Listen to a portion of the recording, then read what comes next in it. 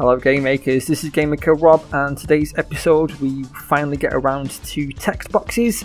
Uh, it covers things like uh, battle messages, talking to NPCs, casting spells from the world outside of battles, that kind of thing. Uh, all done from within one text object. Um, sounds like we have to change a lot of things, but honestly we don't have to, it's mainly just creating the text box itself. But anyway, um, you've waited long enough, let's get started. Uh, first of all, I'd like to say I'm sorry it's uh, taken me so long to uh, upload this video. I've been working on the text system for a couple of weeks now. Um, hopefully, uh, you'll think it's it's decent though. I've tried to iron out as many kinks and bugs as I can. There's a few things I want to add to it, but for the most part, it's a half decent system. Um, I think most people will be happy with it as it is for now. So the first thing we are going to do is we're going to make a test room and we're going to uh, create a text object inside there uh, just to make sure that it runs properly. So if you uh, right click on rooms here, then create room and I've just called mine RM test. Uh, then create an object, call it obj text and add it into the room.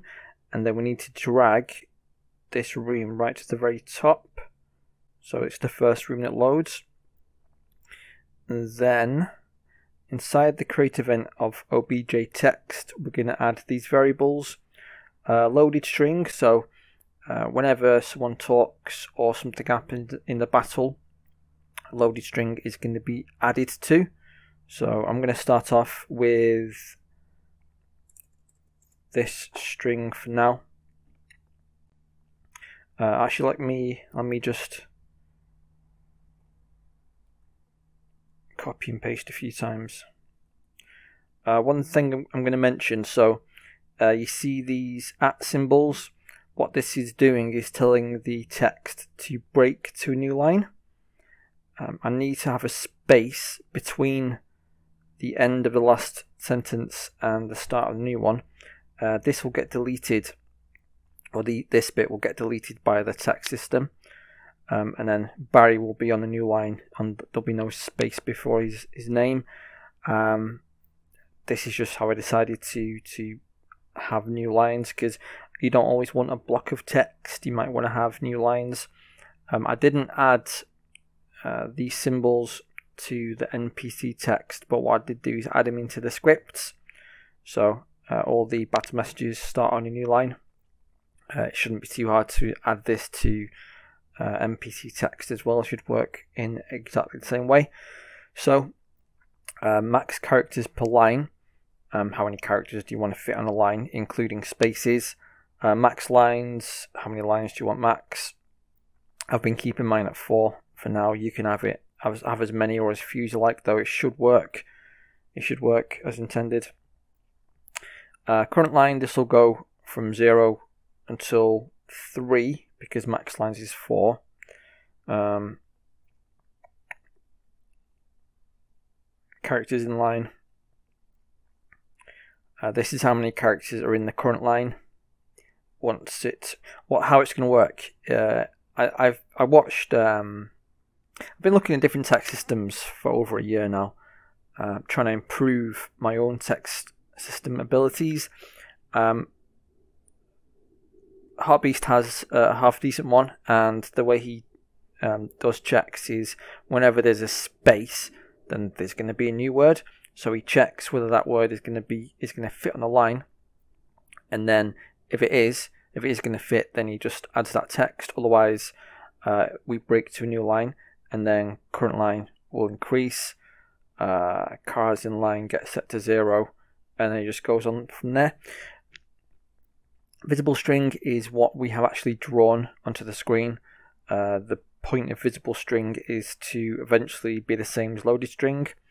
Um, we, have got an array called atext. It's going to have four entries because max lines is four. Um, and visible string is going to be breaking, broken uh, into these four different entries. Uh, waiting for player input. So whenever we get to the last entry and the last entry is full, we're going to wait for the player to press space or OK, whatever. And when he does, then all these entries will get deleted and reset. and then visible string will start to write into the, the topmost one, zero. Uh, talk speeds, how fast are we writing characters to the screen? Um, you can change this uh, whenever you like. So, say for example, you want an NPC to talk quicker than others, you can do that. Um, the way I've got it set up though is I just have my NPCs talking at the same speed, and I have battle messages to be really fast, and uh, the player menu, menu to be a little slower, and the uh, text messages from NPCs are the slowest. Uh, talk timer just uh, runs until talk speed and then a new letter's added and checked. Blink image, this is just so we can have a blinking cursor. Uh, play sounds, so you might not want to hear the da da da on every letter um, in some situations, so you can set this to true or false. Uh, buffer is the space between lines of text. Um, and we also we can display the text in the top or the bottom so I'm using the top for talking to NPCs and the bottom for the battle mainly. I think the player menu is in the bottom as well. Uh, ready, so is the object ready to start typing or not? And uh, display just uh, holds whether it's drawing in the top or the bottom. Okay, so now we're going to get into the meat and bones of it. We're going to go into the step event and uh, we need this region uh, just because we don't have OBJ in it. We need this just for now. Uh, when the text object is going to be in the actual room, then we are not going to need this. Uh, so not ready. Originally, the text object was going to just be created and uh, destroyed whenever it was needed. And then I decided, you know, just to make it a persistent object and then just to clear the variables. Um, so this is a holdover from when it was being destroyed and recreated. Uh, we still do need to set up StartX and StartY though. So uh, just copy this if you will for now. And then uh, ready to display text. This is uh, the, the major part. I'm just uh, put as much as I can into regions. Right, so if ready is true, which it would, would be, um, if we are not waiting for player input, then run talk timer. Um, before we actually go any further, let me just uh, show you the sounds that I've got. So I've got um, one sound for text and one sound for uh, waiting for player. I will put those in the uh, link. I've got a, I've got a folder on Dropbox with uh, sounds and, and sprites and stuff. I'll put those there for you to listen to. Um, you're, you're not going to be able to hear it on this recording because of my uh, settings. Um, and then there's also a sprite, isn't there? Yeah, there. So uh, SPR message blink. I just copied it basically from uh, Target Arrow, and then I have the origin point in the top left whereas target arrow is bottom center. So all I'm doing really is just changing the origin point, and that's what I'm using to, to blink.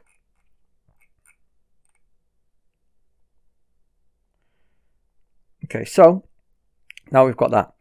If uh, talk timer is greater than equal to talk speed and waiting for player input is false, um, if our visible string, so uh, this is all the characters that we've drawn so far, if it doesn't equal loaded string, then we're going to run all of this code, all this.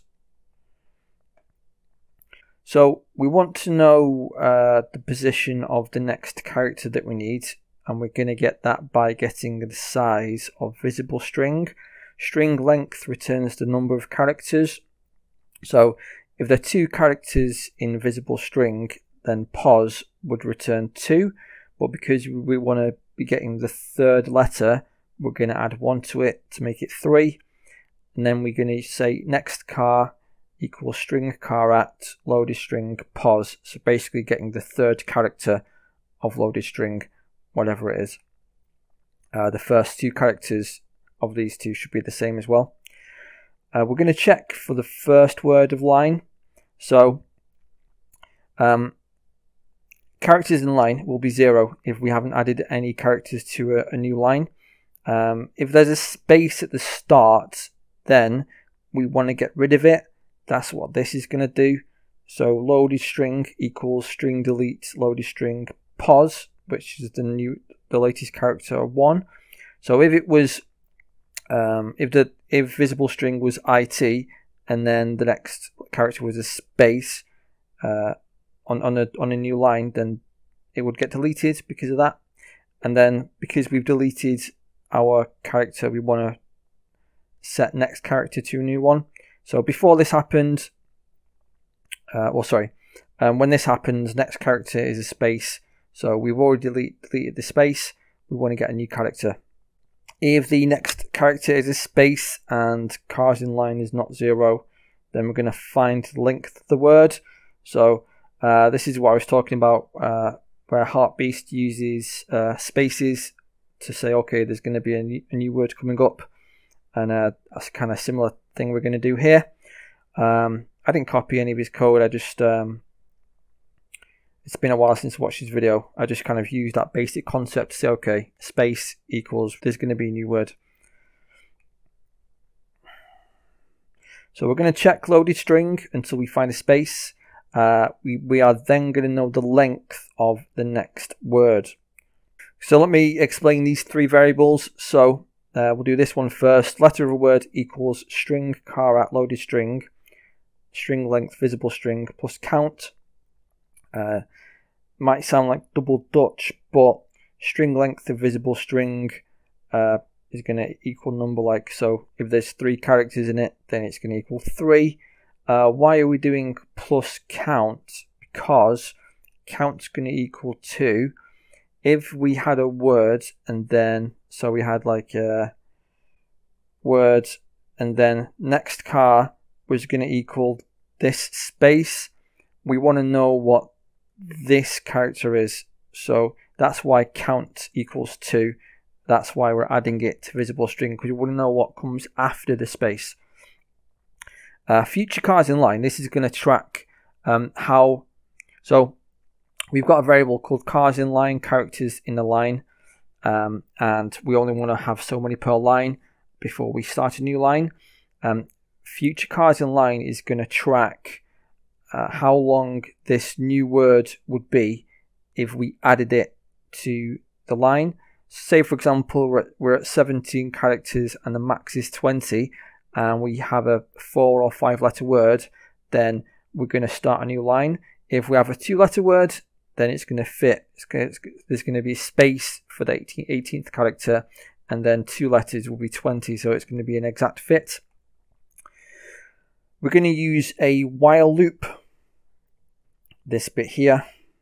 So while it's not a space, so we should still be in a word while it's not a space. Um, we also need to check for a line break. So if this character is in the text, it's going to perform a line break. Uh, this is going to delete this character. That's what this does. And we want to force a new line, so we're going to set future characters in line to a thousand. And then the code here that checks future lines is going to definitely run because is you know uh, you're not going to want a thousand characters in a line. So after this bit, regardless of whether this is uh, a break or not, we're going to increase future lot characters in line. We're going to get the next letter of the word, and we're going to increase the count. And then we want to make sure also that we don't get to the end of loaded string. So this is what this is going to check. So if visible string plus, if the length of visible string plus count is greater than or equal to the length of the loaded string, then break out of this loop. So here we're going to check to see if we need a new line. Uh, we do need a new line if future characters in line is greater than max characters in line. So if future cars is greater than max cars, then we need, a new line. Um, we want to make sure we don't start with a space. So that's what this is going to do. Uh, if you remember, now we haven't changed since this bit, and if the position of the next character was a space, then all this would have won, run, and then we would have found out we needed a new line. So pause is still going to point to the position of the space before the word that we just checked. So that's why we're using it there. Uh, go to new line if we are not at max lines. So if current line plus one is less than max lines, we're just going to go to the next line. Uh, we want to reset the characters in line so they can track the new line. Um, and next character is still a space because we haven't actually changed it. So we're going to get the next. Yeah, because we've deleted uh, space, we want to get the next character that came after the space, and this is going to be the first letter of the first word on the new line. That's what that's what this is going to return. If we are at the maximum lines, so if current line equals max line minus one, then we need to wait for player input. So all four lines are going to be full, and we're just going to wait for them to press OK. And none of the rest of this code is really going to run after that. Uh, so let me just let me just minimize this region here. And then also this region here.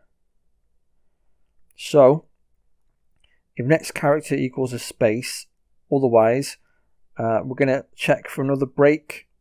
Uh, this is in case the first, uh, this is in case we're on the first line and the first character is a break.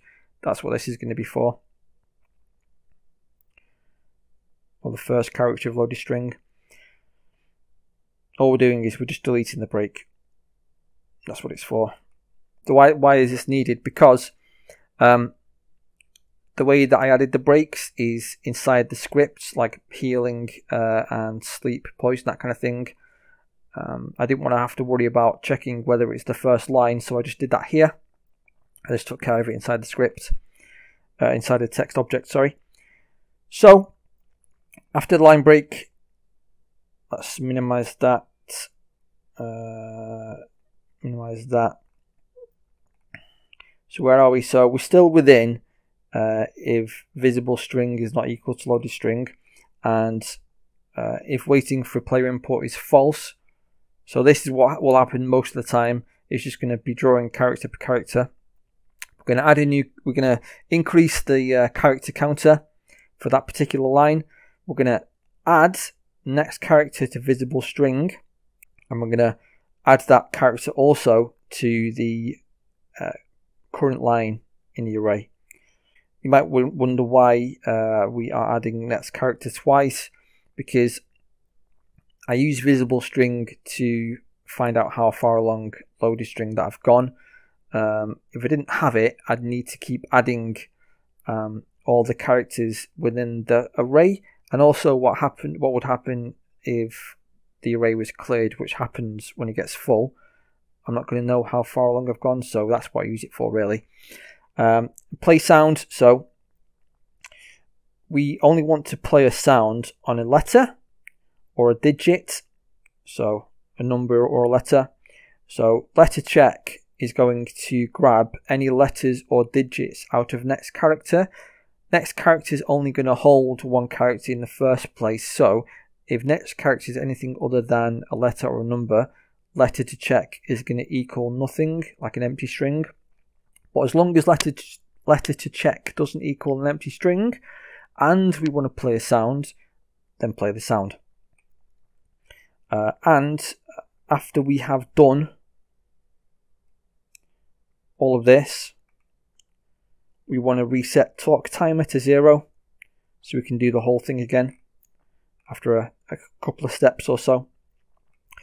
Uh, if we are waiting for player input to be true, then we want to run the blink animation. Uh, there's only two sprites. I don't think I showed you. Sorry. Let me let me show you again. So we've got uh, the actual arrow and then a blank index. So this is what causes the blink effect.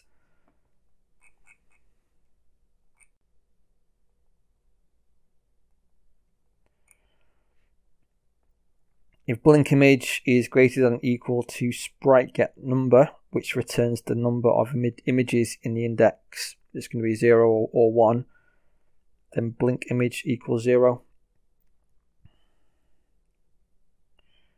Uh, we're going to be using this variable to draw the index of SPR message blink, by the way. Um, you'll see that in the draw event, the draw GUI event. So if we press OK, then set waiting for player to input to be false, uh, set talk timer to talk speed, uh, just so it starts straight away, there's no delay.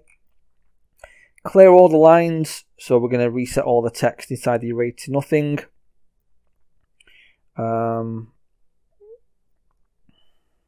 we don't need that. Don't know why I did that in. What I do know, it's just I didn't I didn't take it out after I changed things. Um, reset characters in line, reset current line, reset timer. Uh, and if we're playing a sound, we want to play a sound that we uh, have for the player pressing it. And that's it. I'm just going to go through this bit slowly with the regions closed, just so you can see how all the um, curly brackets should be. Okay, now let's get into the draw GUI event. Let's get rid of some of this stuff first.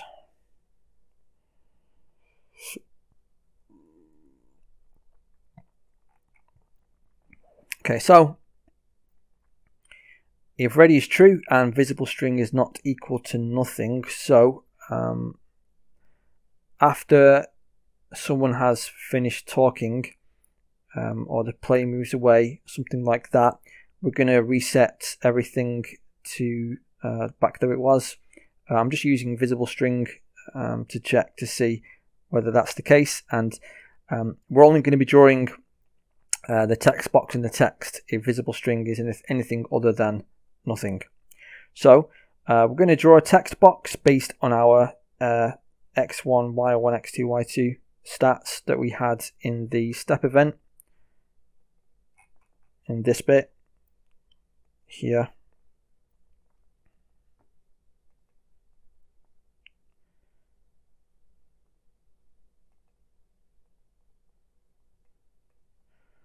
So we want to draw a set color black, draw the rectangle, draw a set color white, draw the outline. That's what this does. Then we also want to draw the text. So set the font. Um, if you want to have the same font as me, I have, I'm using Manaspace. It's a mono-spaced font, so all the letters um, cover the same space. Useful for, for things like this. Uh, I've and I have it as a size of 12.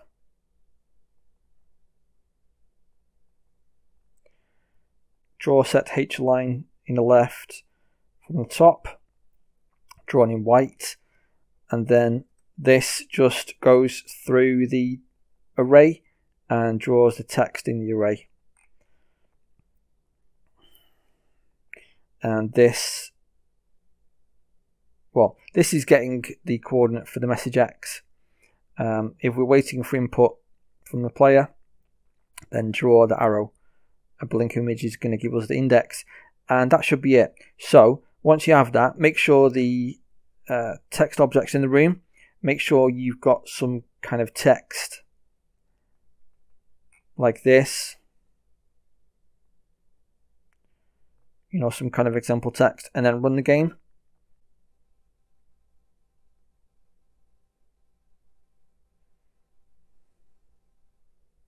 There you go.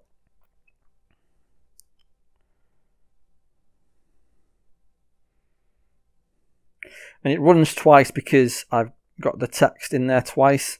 If we uh, change display to top, oops,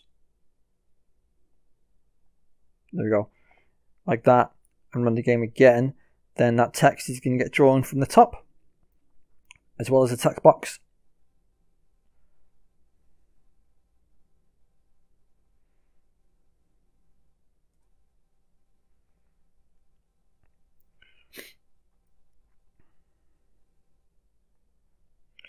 And there you go.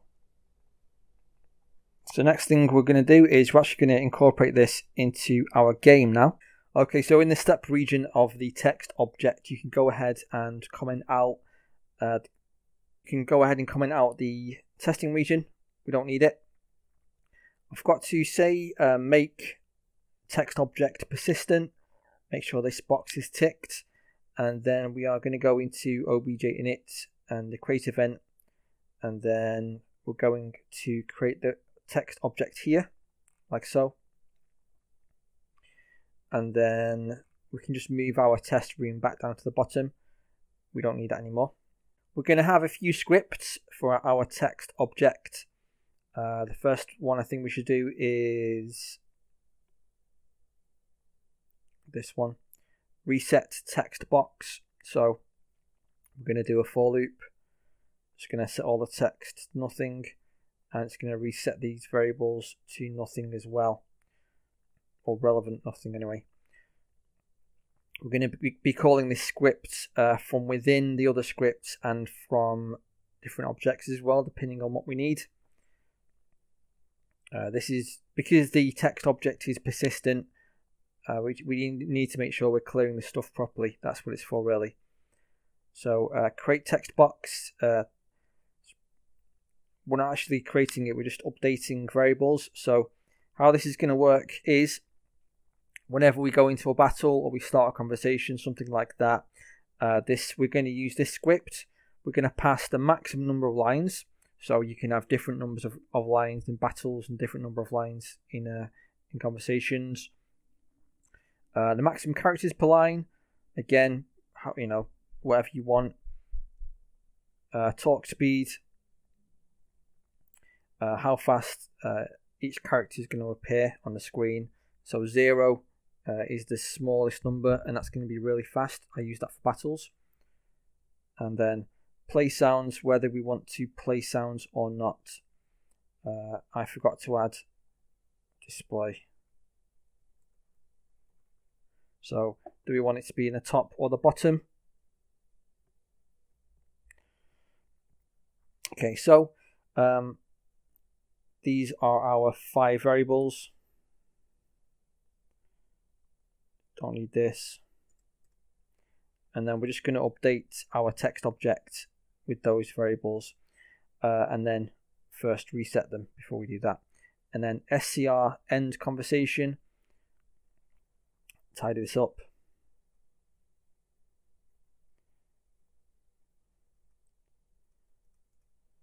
So this is just for talking to NPCs really.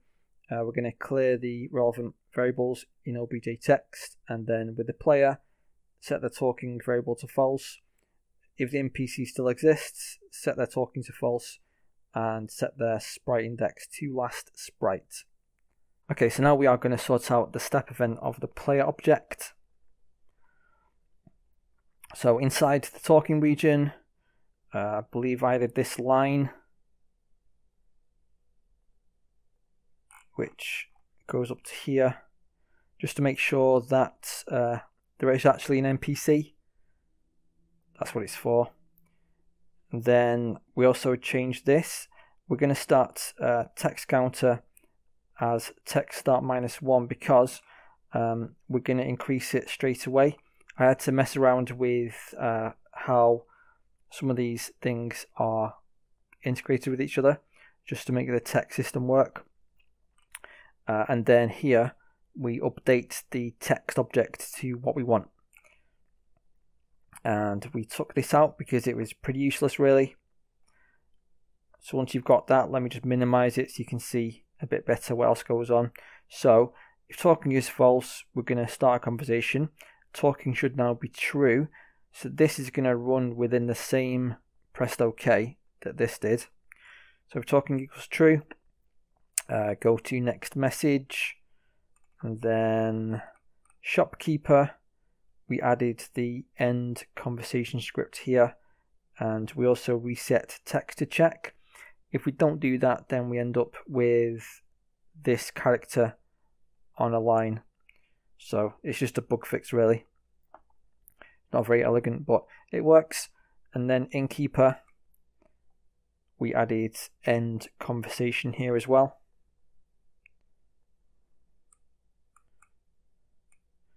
And we added this line. I can ignore that now. So, minimize this.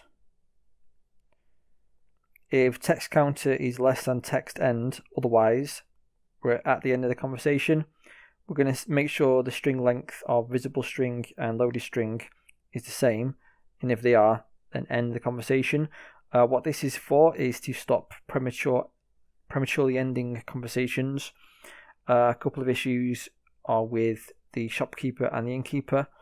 Uh, you can uh, stop the text box before it's finished, but for everything else, it plays out to the end. Then, still within talking, if we're moving away from the NPC, uh, we don't need all of this. Uh, I've have we done a conversation? Yeah. So end conversation takes care of all the player and NPC variables. So we can just delete all this.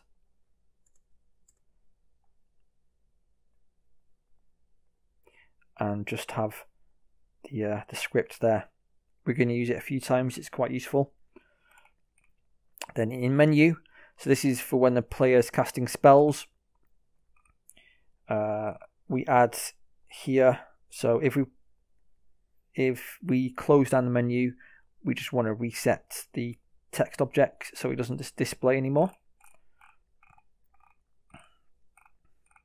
And then if we press cancel, we want to reset the text object regardless of what's happening.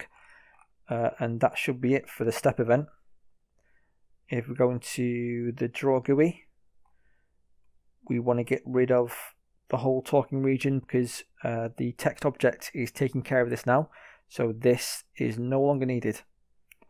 If we go into OBJ goodnight, I think we also use the, uh, yeah, so we just comment this bit out and we're going to use SCR end conversation to do the same job. So there we go. Uh,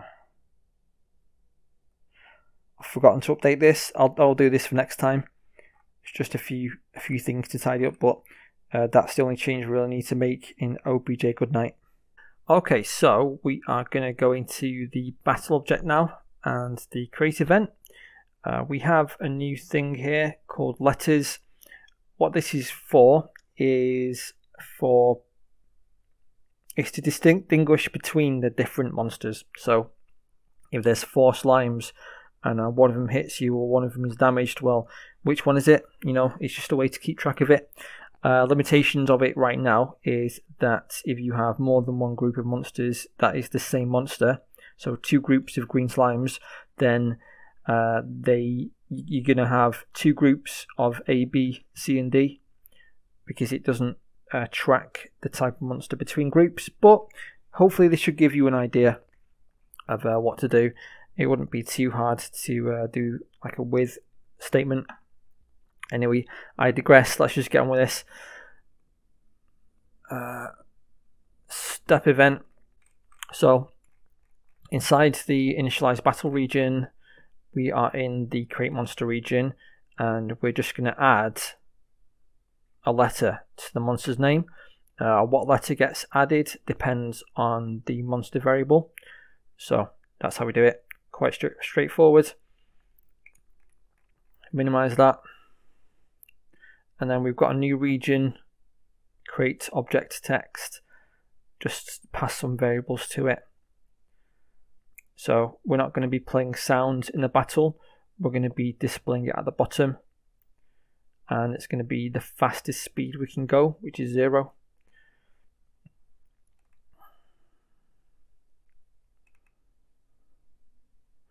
Uh, we no longer need text to display or visible string because the text object is going to be doing all the work. We can get rid of the typewriter region as well because of that. Comment it out.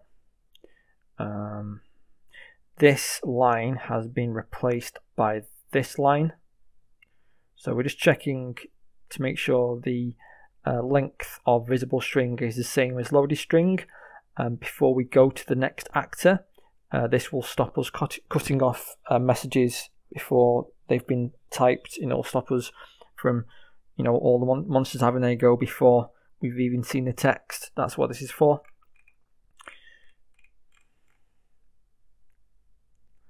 Then we are in the next actor region still. And here, uh, where we are checking for party death, to get rid of this bit and change it to this. So, oh, should be this. I, I was using the uh, percentage sign previously.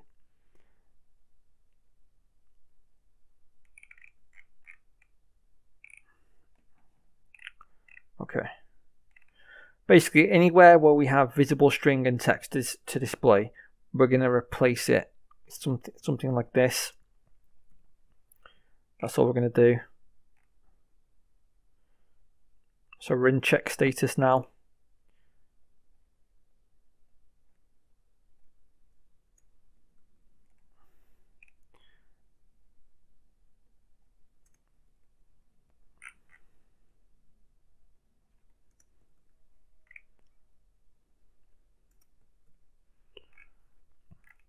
you can probably make your job faster if you do a search. Oops.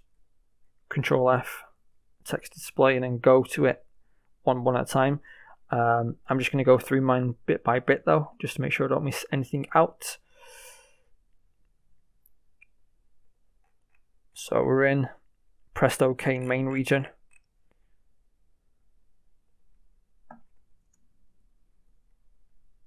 Oops.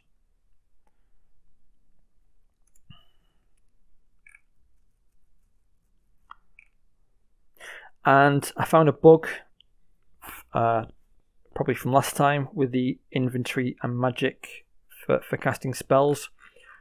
Uh, so when we cast a spell, if one of these uh, one of these two variables is true, we weren't setting them to false. So that's what this is going to do.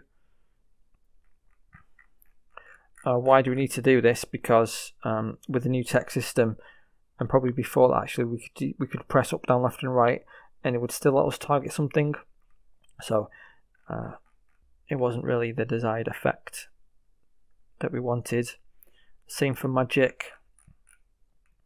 Um, in the cast spell on a target region, we just want to set choose target, choose hero to false.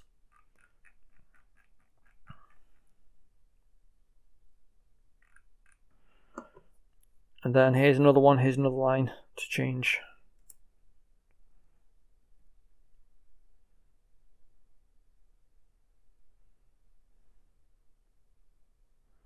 And we didn't need this for anything really, because it just clears everything.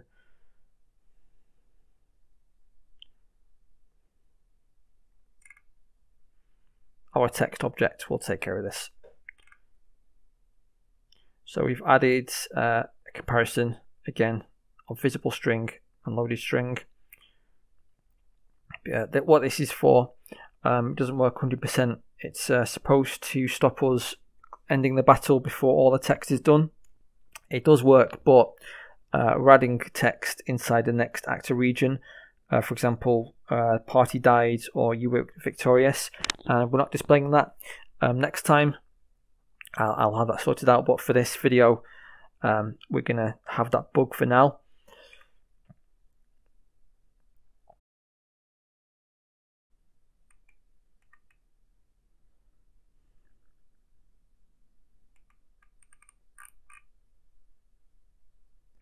And at the very bottom of our battle over region, we just want to reset the text box to get rid, get rid of it. I think that's pretty much it for the step event for the battle object. So we go now into the draw GUI end. No, begin, sorry. Draw GUI begin.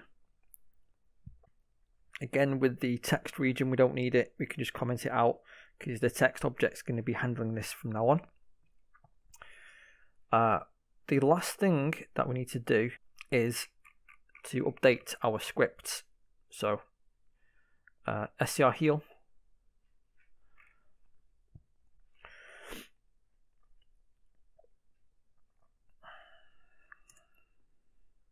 So inside SCR heal, um, we're replacing these lines with these lines.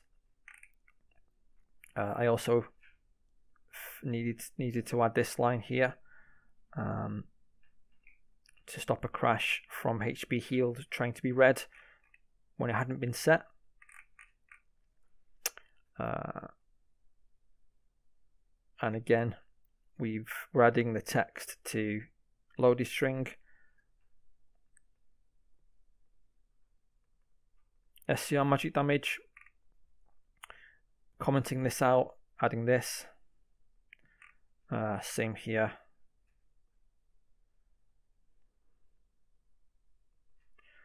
SCR exits, comment this out, add this here, uh, adding this as well. Uh, we're adding this here because it's relevant for this or this, so we're just saving ourselves a line by adding it here. Why do we add it here in the for loop? Because um, if there's five monsters and we're targeting, you know, five monsters with a with a spell, we want to have a new line for every monster. So it has to be within the for loop that's being done. That's why that's there. So return, adding this here, getting rid of this, adding this, and adding this. Uh,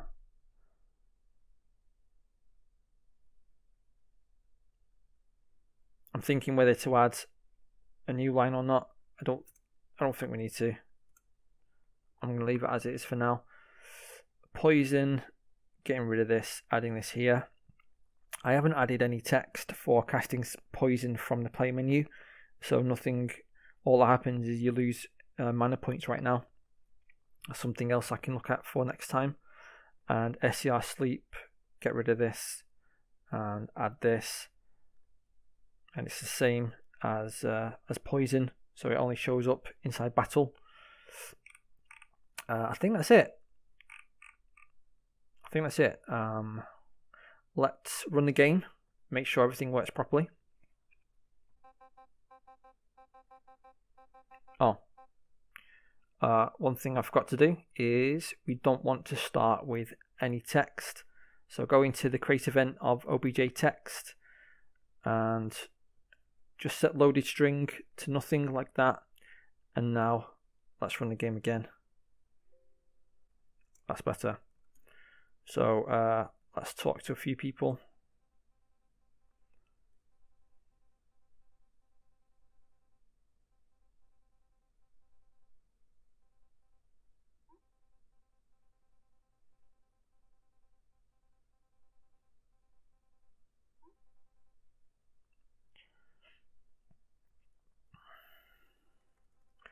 pressing space as often as I can just to like a spam test. Let's talk to the shopkeeper. So here you can, this is one of the bugs I was talking about. You can, if you press space while he's talking, you can just skip ahead to it. Um, I don't think that's too bad because the shopkeeper doesn't really say anything too exciting, um, and you can't skip what the um, what the NPCs say unless you walk away from them. So hopefully you won't miss any kind of important information uh, from the NPCs. So it's not too huge of a problem. It's just worth bearing in mind. And this is the innkeeper. Seems to work okay. So now uh, let's try and cast a spell. Cast heal on Barry. And you can see the speed If that is is a is a lot better. Um, that's because a lot faster. Sorry, that's because we are setting uh, a lower number for that part. So let's go outside now. Have a battle.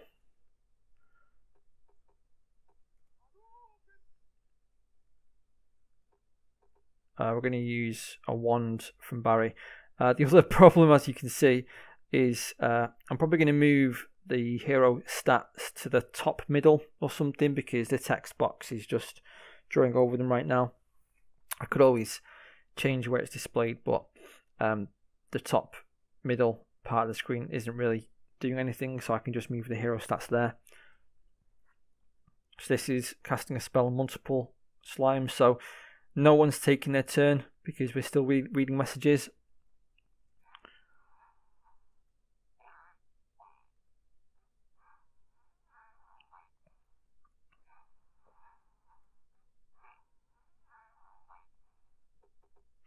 Let's just finish them off. I won't mind adding uh, some messages to say people have died or it's people are taking their turn because that's that kind of thing we can add now. We've got that functionality. That was bad.